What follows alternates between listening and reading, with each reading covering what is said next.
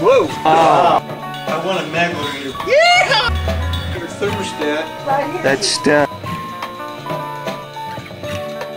Hello my viewers. You can thank Baker Distributing for this video because they were generous enough to let me borrow a heat strip kit to show you how to diagnose any problems with them.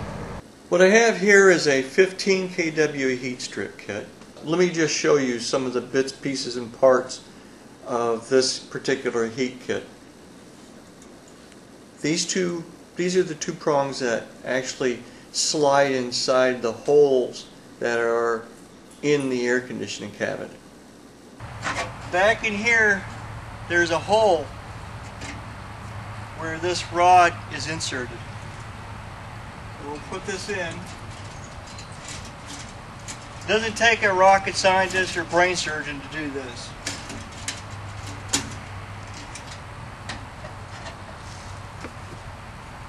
These are the heat strip coils right here. Things that look like like springs. These are actually the heating coils. It's similar to what you'll find like in a, a toaster oven or something like that. If you look at the side of this heat kit, you see that there are three separate heating elements. Each of these elements are rated at 5 kW.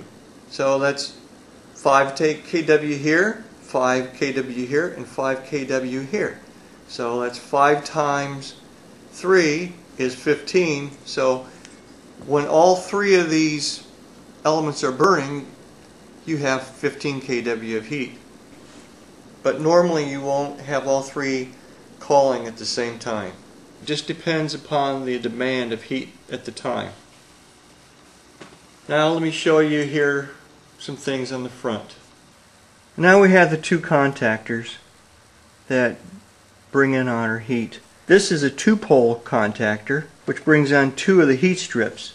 This is a single pole contactor that brings on the second stage of heat which is just the one strip that I've shown you already. First let's look at this first stage of heat. This contactor energizes, okay, calling for two heat strips to come on. But this sequencer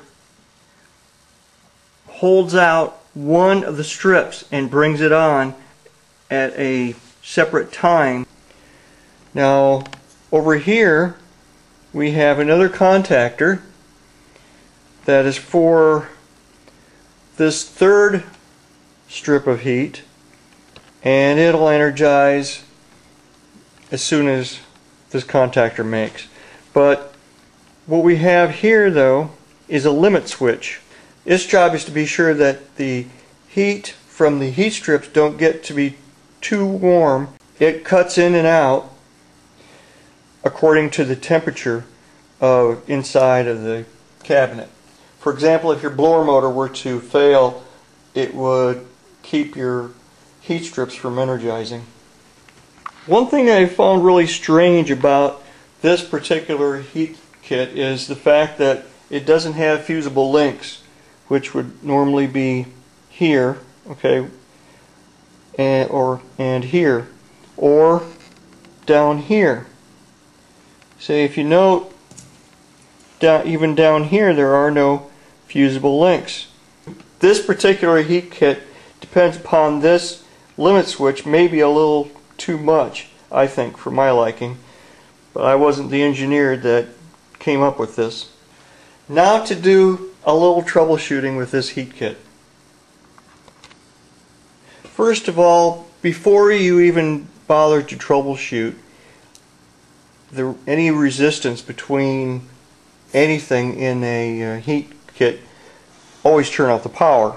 But also, for example, if you want to see if there may be a problem, say, with this limit switch, you want to pull these wires off. Otherwise, what you could be getting when you measure for resistance across each side, okay, is what you could be getting is just backfeed from uh, some of the other components. Now that I've disconnected the wires from each side of this limit switch, I can test to see if I have resistance across this. And I do. So this limit switch is closed right now in this case and apparently it probably is working good. Now to be sure that your heat strips are in good shape and are not open someplace like if they are broken up what you could do here is disconnect this from that terminal okay that goes directly to this side of one of the heat strips. And then here at the bottom you can disconnect that wire right there. And that way you can ohm your heat strip from one side to the other and now we can ohm from one side of the heat strip to the other and as you can see here we have 0.013 and that's about right for a 5 kW heat strip rated at 230 volts.